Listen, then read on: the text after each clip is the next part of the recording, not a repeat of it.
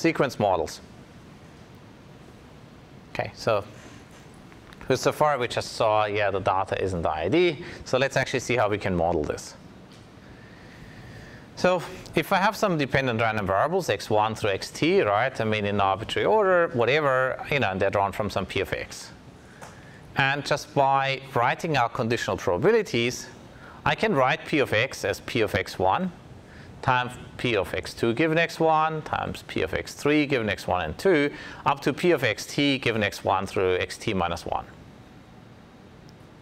And that I can do no matter whether I have a time series or not, right? I could also even do that in the reverse direction, right? So just to point out that you know you can come up with very absurd models, and you know it's still you know technically correct. It's just that those models are very absurd. So you know why bother? Any ideas why you would want to bother?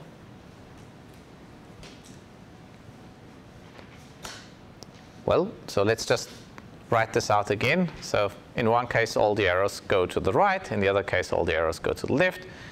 And causality, in other words, reality usually prevents the reverse direction. So the future doesn't affect the present or the past. I mean, unless you watch sci-fi movies where they travel back from, you know, the future. Um, and that's why, you know, we're not going to see time travel But anyway, uh, so one way usually to find out which way time goes is you try to model the data with both models and you try to see which one fits better or which one leads to a much more complex explanation. And you can actually mathematically prove under a, a reasonable range of circumstances that the wrong direction of causality leads to the more complex model. So there's a lot of nice work by Bernhard Schölkopf and Dominik Janzing in this direction. So they've, they wrote a book on that. Um, read that if you're interested in this work. Um, okay, so how do we deal with this? I mean, after all, this is a deep learning class, right? So one thing we could do is we could have some autoregressive model. So because after all, we're after some term p of xt given x1 through xt minus 1. I could just say, well, you know, that's p of xt and then given some function of all the past data. You know, so far this is, you know, perfectly okay because I haven't actually specified how smart this function f should be. Okay? This is a little bit where the problem lies, that if I have this function to capture everything, then well, it gets really hard to compute and everything. And we'll look at a couple of ways how to fix it. So plan A is I use the Markov assumption. And the Markov assumption just means that if I have this chain, then the dependency only can look back so far, namely tau steps. Can somebody tell me what tau is in the graph above? Okay. Who votes for 1? Who, who votes for tau equals 1 in the graph above? Okay. Who votes for 2 in the graph? Okay. Okay. Who votes for 3? Okay. Who votes for 0? So, and so half of the audience doesn't have a strong opinion. The twos had it, right? Um, so the dependency here is two steps. So basically, the you know the observations two steps into the past, they can help, they affect what happens next. And in that case, you can write out some autoregressive model. You know, p of xt given x1 up to t minus 1 is you know f of xt minus tau up to xt minus 1. And you know, this is a perfectly reasonable model if, you know, tau is long enough, if I have a lot of data and all of that. But there are plenty of cases where this actually can fail.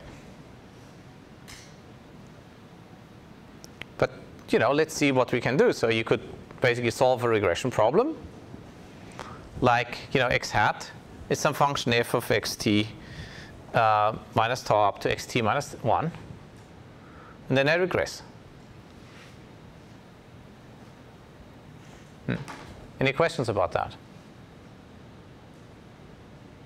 This is, you know, this is a very simple approach, right? So I can just take the past data, I perform the regression, and if that's all that there is to it, we can now all go home and relax and say, well, yeah, we can do time series models. And the obvious thing is, yeah, there's more to it, but we'll start with that. Right. Plan B, and this is something that you know, has been popular for a long time, is a latent variable model. So instead of saying, well, you know, uh, I'm going to truncate that history, I'm going to kind of carry that history around by assuming that there's some hidden state h. And this hidden state gets updated based on you know, the past observation and the past hidden state. And the new observation depends on you know, the current hidden state and the xt's. So the green dots are the hidden state, and the blue ones are the observations. And so now you could easily see at least you know can convince yourself that if ht is essentially a function of ht minus 1, right? That's what we have, and the new observation, then you know if my hidden state would, was you know really powerful and could store a lot of things, that's exactly the same thing as having a function of all the data from start to finish. It's just a really weird way of writing it down. Okay. So this is a subtle difference, right? So in one option, if we have a Markov model, we just have some function that depends on past observations.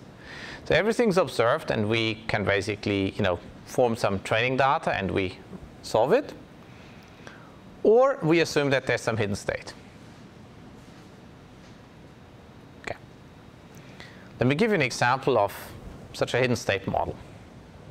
Actually, your brain is currently solving one of those, at least I hope it does. Namely, there's a hidden state, namely what Alex is thinking when he speaks. And let's assume that I think before I speak, right? Now, what your brain is doing, it's solving the inverse problem. You know, sound comes out of my mouth, goes into your ears, and now, based on the observation, you're trying to infer what the hidden state is of what I might have tried to say when you know that noise came out of my mouth. Right. So this is where your brain is now solving the inverse problem to my problem of generating, making noise from thought, and you're making thought from noise. And when you ask a question, it goes the other way around.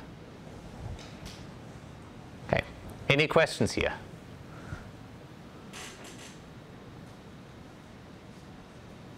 So this seems like a quite a subtle uh, distinction, and but it leads to very different algorithms as we will see in a moment. But I wanted to, you know, get that out of the way right now because later on we'll encounter a lot of models which do either plan A or plan B, and mostly plan B actually. So the latent error model is pretty much what we'll entertain ourselves with for the next three lectures. Um, so I want to make sure everybody is kind of cool with why we're doing this. Okay. So yeah, if basically I had some function f of x1 through xt minus 1, right? So this is the function that we wanted, which can be written as some function f of ht minus 1 and xt minus 1. In that case, you know, this is, you know, completely analogous. And there are distributions for which such a form exists. So they're in an alternate universe where spectral methods would be the new exciting thing, and at some point that wasn't clear, um, you could actually prove that certain embeddings are all that you need to deal with certain such models. Okay, but that alternate universe doesn't exist. We're in deep learning land. Um, okay, so you may have heard of some of those things before. And I just want to give you a little bit of a context such that when somebody comes to you and says, well, we don't use deep networks because we use blah, like, you know, HMMs or Kalman filters or topic models over time or whatever, that at least you know how what they're telling you fits in with what you're doing, and that what you're doing is just as principled as all the other things, right? So let's assume we have some you know, temporal sequence of observations like purchases, likes, or app use, or emails, or ad clicks, or queries, or ratings. Right, so any of this. Then one thing that I could do is I could just endow this hidden state with some meaning, right? So I could have clusters. People have done that for search where they would break down search into three different types. So there is the navigational or the informational or there's a third type that I've now forgot, but basically you can already see from that that this is very tenuous. And then they would have humans hand label things and model transitions and so on. And yeah, let's put it this way, the company that did this didn't do very well on search. Um, yeah. But basically, you could try to model this way, you know, whether you're within the same search session and a lot of other features. You could assume that you know, there are topics of interest for a user over time. And we did this at some point. It worked quite well for computational advertising. This was at a time when deep learning wasn't quite so popular yet. This was around 2011, 2012. And you'd see how the network then, for instance, learns that you know there's you know sports or education or health and other things and in finance. And you can really tell, you can see stories like this, this guy who's into sports, but then he realizes he doesn't have money, then he starts looking for jobs. So you can see those topics interact with each other quite nicely. And yeah, you can tell a nice story. And if you want to have simple interpretable models, it's not a bad place to start. Or then we can look at something which is essentially 1960s technology, namely the Kalman filter. And probably by now, still a lot of control theory lectures will teach you the Kalman filter. And if you're tracking a plane on radar, well, they probably use something like this, right? These are cool things, right? And again, they basically assume that there's, you know, some latent state, like where the plane is, and then what you observe is where the radar ping shows up.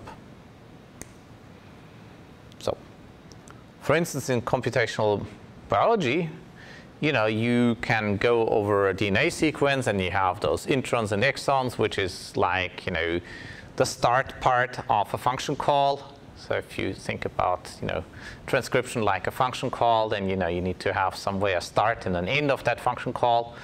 And you can model that. And yeah, don't be scared about the math. We're not going to do this. But you could do that with deep learning now you can probably still do a startup if you tell UVC I'm doing deep learning for compile. Um, okay, don't tell them that I said that.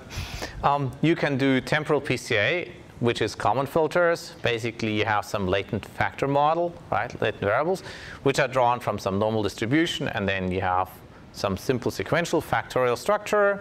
So, you know, you basically, you know, have some observations, and then you know, you basically transform the data based on those observations, right? And yeah, this works nicely and mostly, or, you know, basically any, any other thing, right?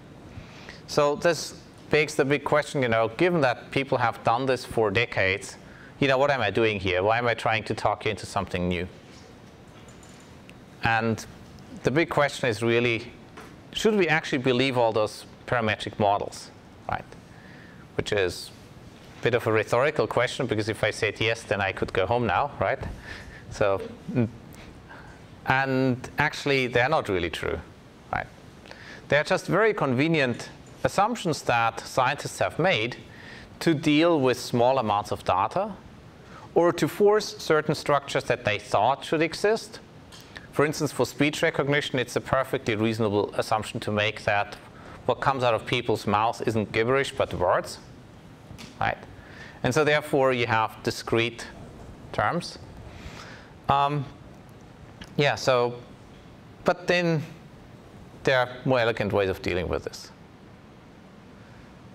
So what you basically want is you want to have, you know, some richer representation.